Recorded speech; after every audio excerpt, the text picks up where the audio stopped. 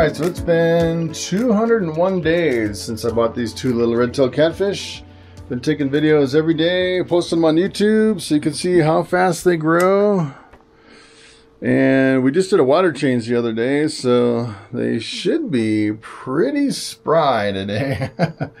Usually I start out with some hand feeding. Looks like they're they're coming right up for some hand feeding. Look at how big they are. They are pretty big. All right, so let's see if I can find a little piece of fish here for him. Oh, look, he's coming right up to the top. Look at that. I've never fed him from the surface of the water. It's usually down here on the bench. look at how big he is. Wow. That is crazy. All right, let's see if we can find another one that's not frozen. Some of this is still a little bit frozen here. This one's pretty good. All right. See if we can give this guy a little bit here. wow. They are really getting big. Really super friendly. It's been uh, maybe about a month and a half that I've been hand feeding them.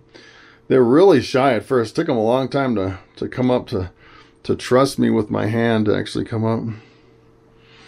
I accidentally kicked the hot tub with my boot and they kind of freaked out a little bit there. wow, they're getting really friendly.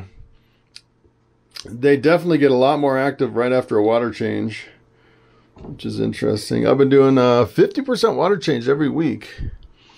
And this is about 350 gallons.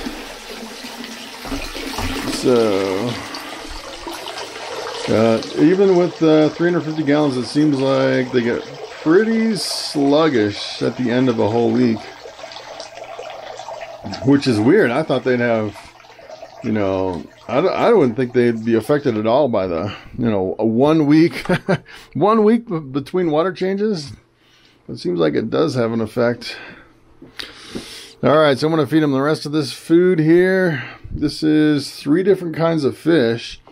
This is cod, tilapia, and mahi mahi that I got at the grocery store. And I'm going to finish up with some underwater video.